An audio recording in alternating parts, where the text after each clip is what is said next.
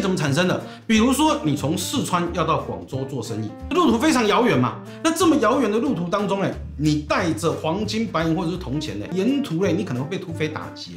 所以在这个情况之下，出现了所谓的新兴的行业，也就是传说中的镖局。但是问题来啦，如果你只是三百两白银，你请镖局划不来啊。你请了镖局啊，镖局派了五个人保护你，对不对？好，到了广州之后要跟你收钱嘛，哎，结账哦，买单哦，哎，多少钱？六百两，哦，我就三百两而已啊。所以后来你整个钱给镖局还不够，还被保镖打了一顿。